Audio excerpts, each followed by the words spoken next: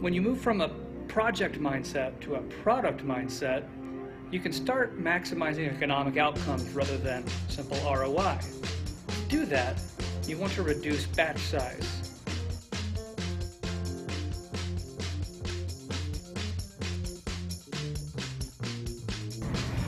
Using batch size to optimize economic outcome is crucial because there's a trade-off between the cost to your company the more you delay the time to market versus the cost it takes to get things released more frequently.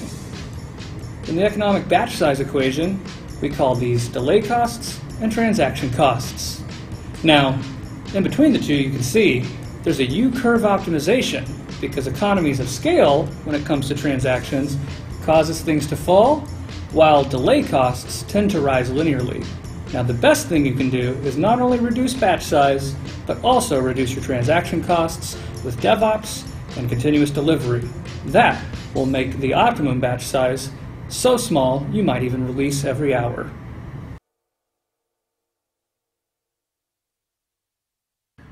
Stay tuned for more tips on strategy, innovation, and transformation.